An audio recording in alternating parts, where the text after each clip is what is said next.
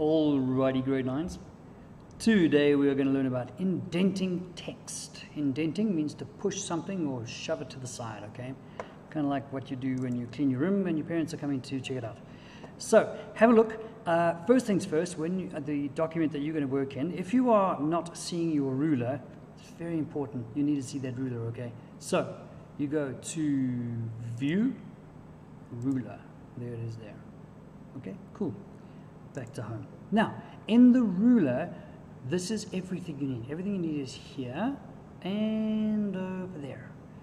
The first paragraph says first line indent. So let me show you what we actually use to do this. On the left-hand side of your ruler, you have three different shapes. There's the triangle, the upside-down triangle. That is your first line indent. Then you've got the triangle pointing upwards. That's the hanging indent and then you've got a rectangle at the bottom, which is your left indent. On the far right hand side, you've got another triangle pointing up, that's your right indent. So, our first paragraph, it doesn't matter where you are in the paragraph. Like, you don't have to go and select the whole thing, okay? You can just be inside the paragraph. Just be the paragraph. And then you're going to do the first line indent with your ruler. So I go to take my mouse, I go to the top here, and I see it says first line indent. Click, hold the mouse button down, and drag. And just like magic, you can see, check it out, it's dragging that first line only. It's only indenting, shifting the first line. Okay? Easy. Next one. The hanging indent.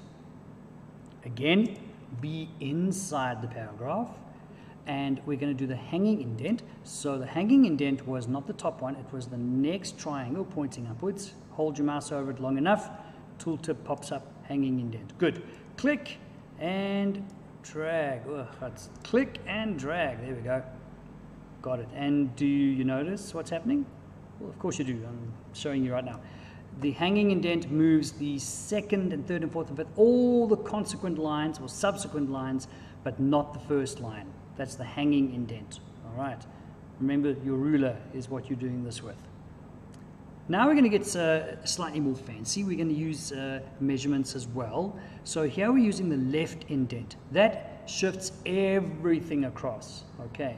So have a look. Inside my paragraph, the bottom one here is the left indent.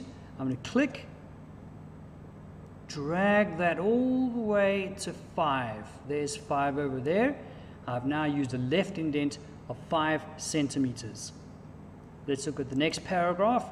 A right indent by 3 centimeters.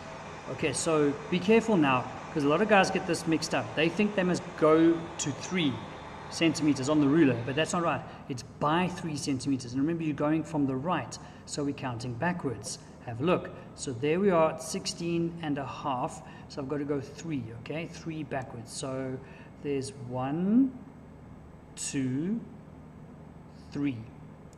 There is a right indent by three centimeters, not to the three centimeter mark. Okay, don't get that wrong in your exam, please. Next paragraph, the last one. Two things to do here.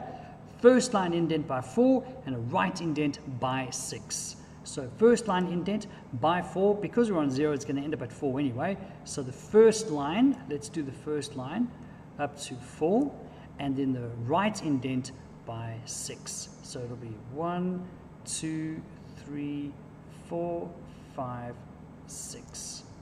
Okay, and that's what your document should look like.